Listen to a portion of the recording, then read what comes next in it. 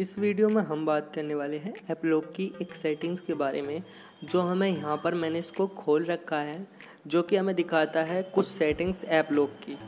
ये क्या होती हैं और ये हमें मिलती कहाँ पर है, उसको, इसको यूज़ कैसे कर सकते हैं हम, ये सब कुछ मैं आपको इस वीडियो में बताने वाला हूँ। तो अगर आप जानना चाहते हैं तो इस वीडियो को शुरू से लेकर लास्ट तक देखिएगा। तो पहले बात कर लेते हैं, ये हमें मिलती कहाँ है। जैसे कि यहाँ से मैं इसको काट देता हूँ। और अब आपको बताता हूँ ये कहाँ पर मिलती है। तो सबसे पहले सेटिंग्स में जाते हैं हम। उसके बाद यहाँ पर हम नीचे जाते हैं। नीचे यहाँ पर मिलता है आपको ऐप लॉक तो ऐप लॉक को खोल लेते हैं। ऐप लॉक को खोलने के बाद यहाँ पर ऐसा इंटरफेस आपके सामने आ जाता है। तो यहाँ पर हम इसको खोलते हैं। खोलने के बाद यहाँ पर सेटिंग्स में जाते हैं और सेटिंग्स में यहाँ पर हमें मिल जाता है। आ, ये रहा लॉक सेटिंग्स अब ये बताता हूँ मैं ये होती क्या है।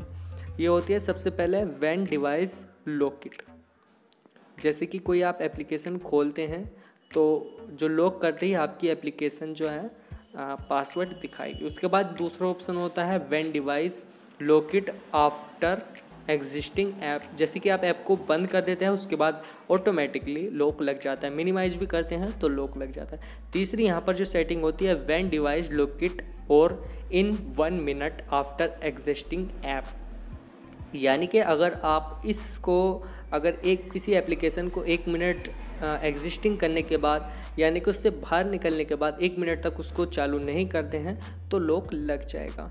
तो ये होती हैं, ये सेटिंग्स आप पर डिपेंड करता है कि आप कौन सी लगाना चाहें। वैसे काफ़ी इंटरेस्टिंग सेटिंग्स है, आपको भी ये करनी चाहिए। तो यहाँ पर मैंने आपको सेटिंग्स के बारे में बता दिया है। अगर वीडियो यहाँ पर पसंद आई हो तो लाइक कर दीजिएगा और चैनल को सब्सक्राइब भी कर दीजिएगा। तो मिलते हैं अगली वीडियो में, तब तक के लिए बाय एंड टेक केयर